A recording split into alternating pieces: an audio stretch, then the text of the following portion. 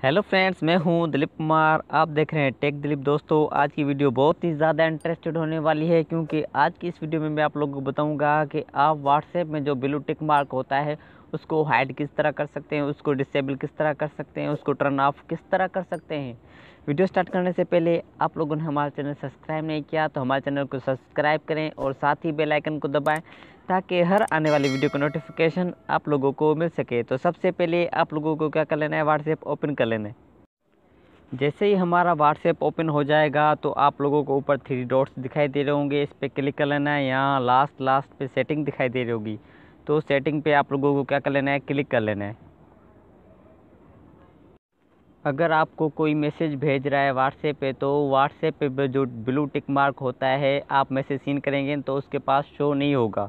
अब यहाँ आप लोगों को दिखाई दे रहा होगा अकाउंट फिर चैट फिर नोटिफिकेशन फिर डेटा एंड स्टोरेज यूजेज उसके बाद हेल्प आप लोगों को क्या कर लेना है?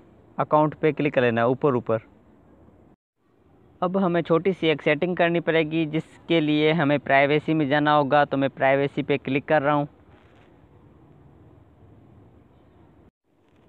फिर इधर आप लोगों को मिल जाएगा रीड रिसिप्ट तो मेरा ऑलरेडी अनेबल किया हुआ है तो इसको हम डिसेबल करेंगे। मेरा ऑलरेडी अनेबल है तो मुझे कोई मैसेज भेजेगा तो ब्लू टिक मार्क उसको शो होगा, अगर मैं मैसेज सीन करूँगा।